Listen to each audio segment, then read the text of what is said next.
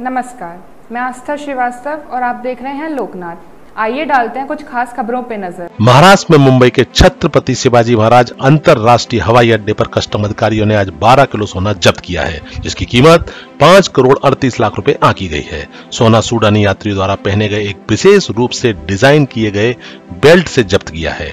Airport पर कुछ यात्रियों ने आरोपी को भगाने में मदद करने के लिए हंगामा किया, लेकिन वह पकड़ा गया। इस संबंध में कुछ लोगों को रोका गया है। अधिकारी ने कहा, मुंबई एयरपोर्ट कस्टम के अधिकारियों ने सूडानी यात्री द्वारा पहने गए डिज़ाइनर बेल्ट से पाँच करोड़ अड़तीस लाख रुपए मूल्य का बारह किलो सोना जब्त किया। कुछ यात्रियों ने उसके बहाने में मदद करने पर हंगामा किया, लेकिन वक्त रहते उस पर काबू पा लिया गया। कुछ लोगों को हिरासत में लिया गया है।